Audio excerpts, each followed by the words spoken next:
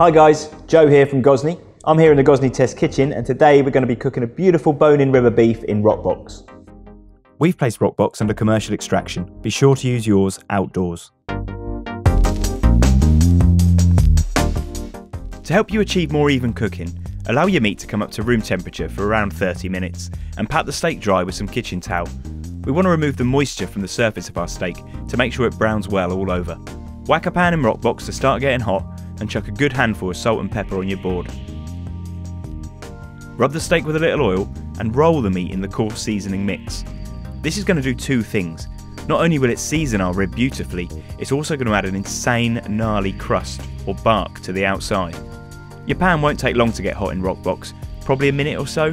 Then bring it over to your workstation, add a splash of oil and get the steak in there, pressing down as you do so.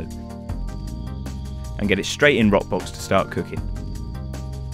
The rolling flame and high temperature stone floor mean our bark will start forming pretty quickly, so keep an eye on it, turning and rotating as required until the fat is beginning to caramelise and the crust is clearly formed.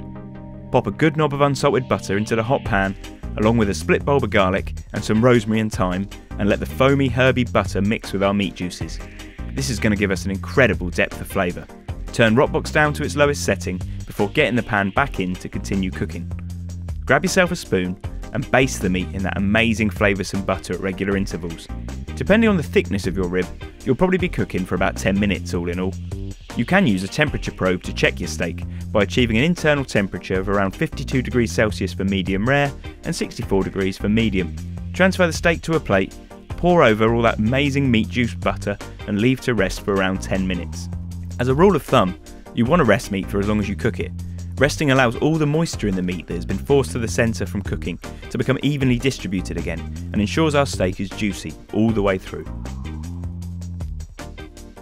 Cut the steak into slices, sprinkle over a little Maldon salt and get stuck in.